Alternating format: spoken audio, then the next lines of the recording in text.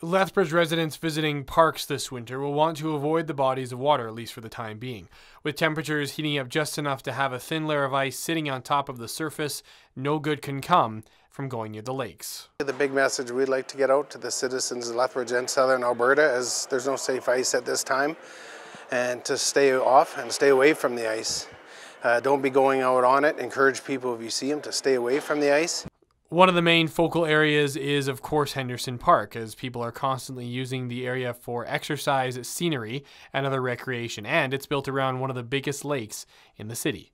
The precautionary measures are not complicated. If you don't want to fall through the ice, don't go on the ice. But any concerns are not only for people who might be visiting the park during the winter, but also pets. Uh, another big uh, factor too is pet owners.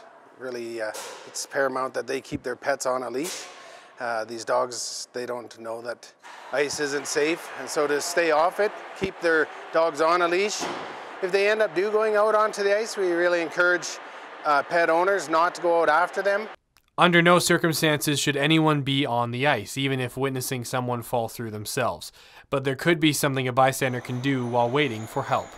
If they are within reach, if you can reach something out to them, if you had a pole, a broom, uh, if you had something buoyant that you could throw out to them to help them stay afloat until the uh, rescuers get there. But really, we don't want anyone going out on the ice to make a rescue because more often than not, it's just going to end up being multiple rescues. Regardless of the situation, the fire department is suited with the proper equipment and ice rescue training to pull someone from the freezing water should the situation arise. For Bridge City News, I'm Ben Matichuk.